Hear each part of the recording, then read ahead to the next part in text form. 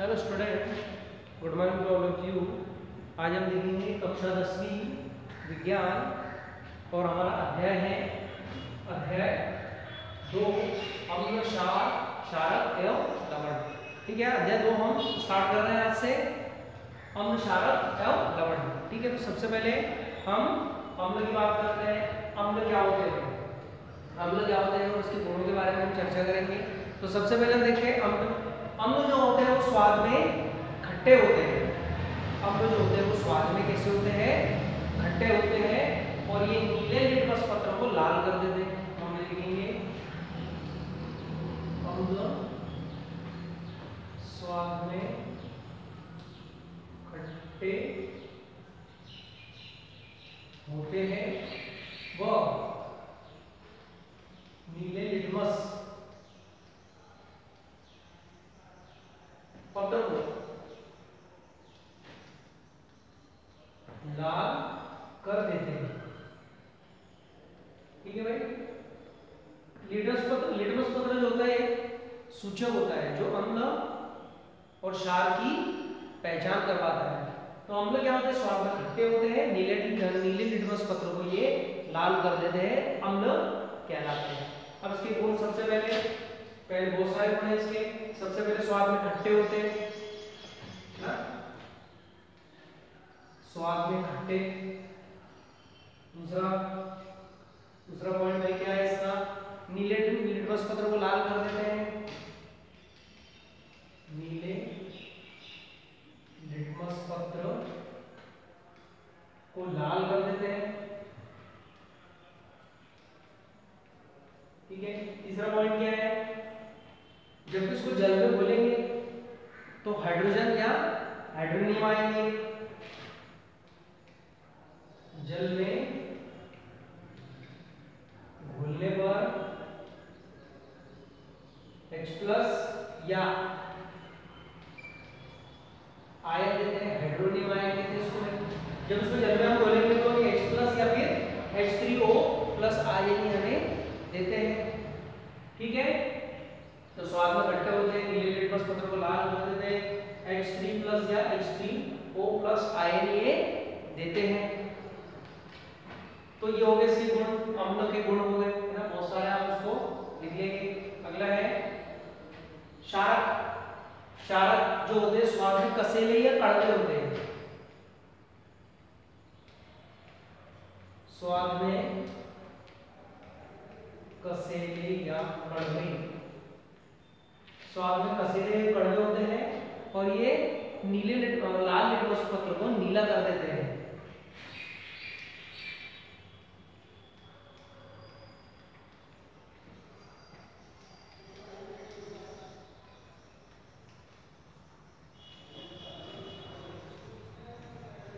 ठीक है? तो ये स्वाद में कसेले हो गए या कड़वे होंगे और लाल लिटमस को नीला कर देते हैं क्षार कहलाते हैं। इसके गुण देखते हैं हम पहले तो पहला गुण होगा स्वाद में कसेले।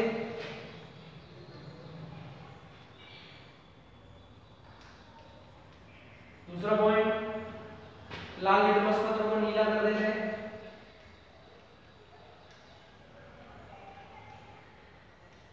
लिटमस पत्र को नीला कर देंगे ठीक है?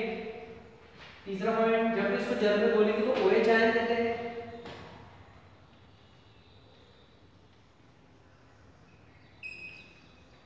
जल में घोलने पर ये OH नेगेटिव आयन देते हैं।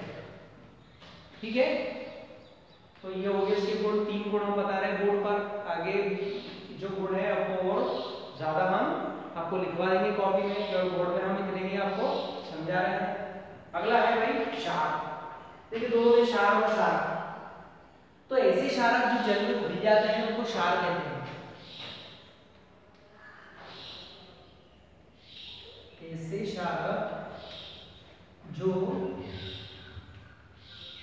जल में घुल जाते हैं क्षार कहलाते हैं ठीक है भाई? अब ऐसे क्षारक जो जल में घुल जाते हैं, उनको क्षार कहते हैं। क्योंकि क्षारक में बहुत सारे ऐसे क्षार भी है जो जल में नहीं घुलते तो जो घुल जाते हैं वो क्षार और जो नहीं घुलते वो क्षार तो हमारे तीन हो गए अम्ल, उसके गुण क्षार क्षारक उसके गुण, और क्षार अब हम देखते हैं अम्ल और शार में अंतर। ये प्रश्न पेपर में कई बार पूछा जा चुका है। तो देखते हैं हम अम्ल और शार में अंतर।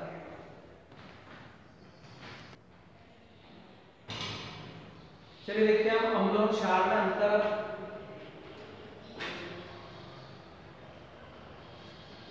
अंतर बहुत ही सिंपल है। ये कैसे हो जाएगा स्वाद में खट्टे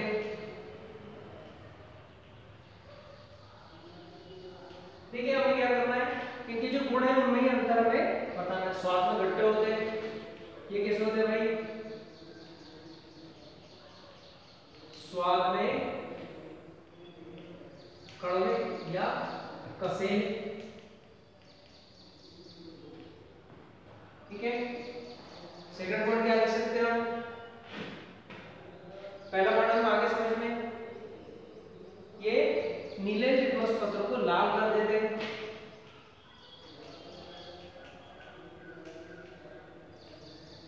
ये नीले लिटमस पत्र को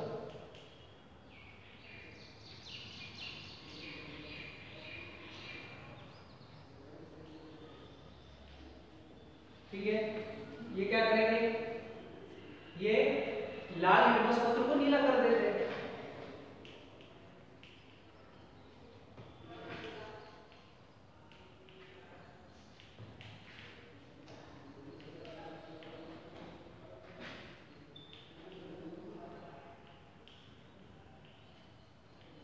ठीक है? आगे समझ पॉइंट ये नीले को लाल कर देंगे और लाल को नीला। चलिए, जब में अगर बोले तो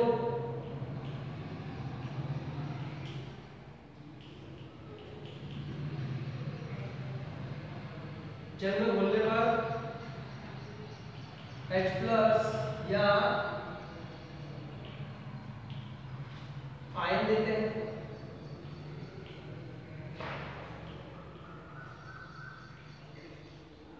इसको जल में जैसे घोलेंगे तो H प्लस आएँगे या H2 आयन देंगे इसको अगर जल में घोलते हैं हम तो ये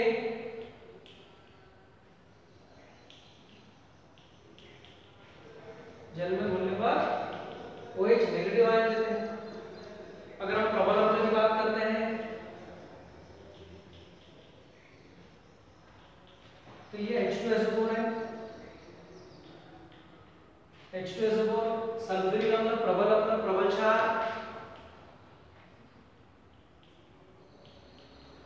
प्रबल क्षार है हमारे पास में NaOH तो याद रखना हमेशा, प्रबल अम्ल प्रबल क्षार बारे में पूछते हैं तो प्रबल अम्ल सल्फ्यूरिक अम्ल H2SO4 और प्रबल क्षार NaOH अब हम बात करते हैं अम्ल और सूचक की सूचक का अर्थ जैसे आपको पता ही है, सूचना देना।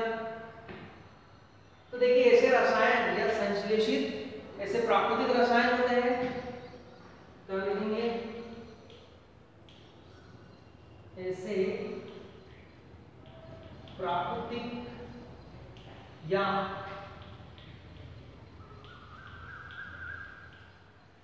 संश्लेषित पदार्थ या रसायन जो अम्ल और की उपस्थिति का अम्ल और की उपस्थिति को सूचित करते हैं या पता लगाते हैं? जो अम्ल या क्षार की उपस्थिति का पता लगाते हैं सूचक कहलाते हैं अम्ल क्षार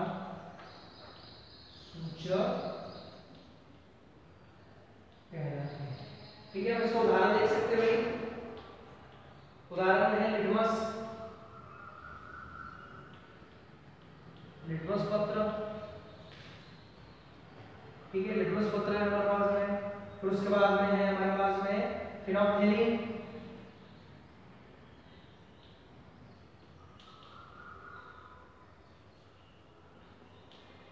फिनोक्सेलिन है, ठीक है? हल्दी है। हाँ ये क्या है सब? ये हम लोग साथ सोचे हुए थे लेटस पत्र है फिनोक्सेलिन है, हल्दी है, लौंग है है ना? ये सारे जो है, वो हम लोगों सार सूचक कहलाते तो हमने ये देख लिया, हमने अंदर भी देख लिया और सूचक के बारे में भी